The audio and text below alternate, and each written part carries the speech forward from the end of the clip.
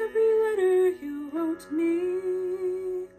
From the moment I read them, I knew you were mine.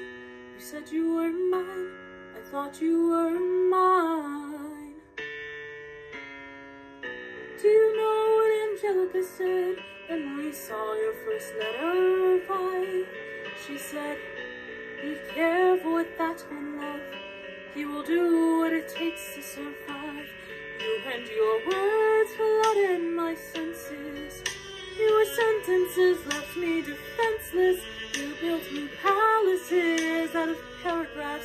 You built cathedrals.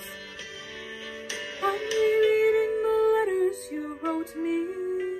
I'm searching and scanning for answers every line for some kind of sign. And when you were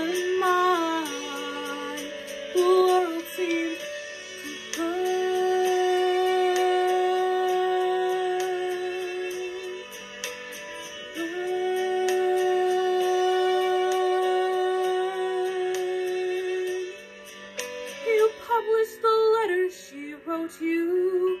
You told the whole world how you brought this girl into our bed. And clearing your name, you ruined our lives. Do you know what Angelica said when she read what you've done? She said, You've married an Icarus.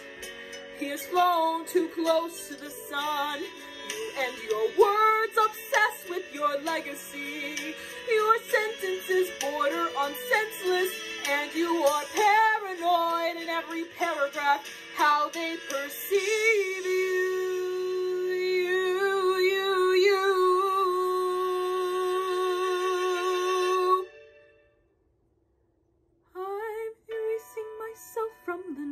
narrative. Let future historians wonder how Eliza reacted when you broke her heart. You've torn it all apart, I'm watching it burn.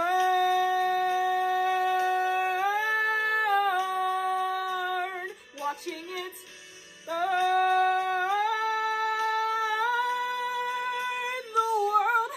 Right to my heart. The world has no place in our bed. They don't get to know what I said. I'm burning the memories, burning the letters that might have redeemed